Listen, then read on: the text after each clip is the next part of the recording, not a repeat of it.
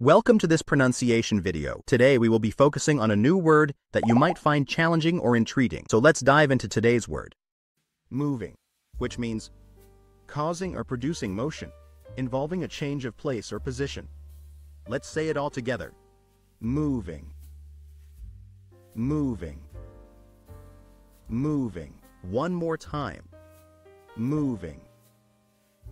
Moving. Moving. Thank you for joining us on this adventure in pronunciation. Remember, language is a journey, not a destination. Keep exploring, experimenting, and expanding your linguistic horizons. We'll see you next time.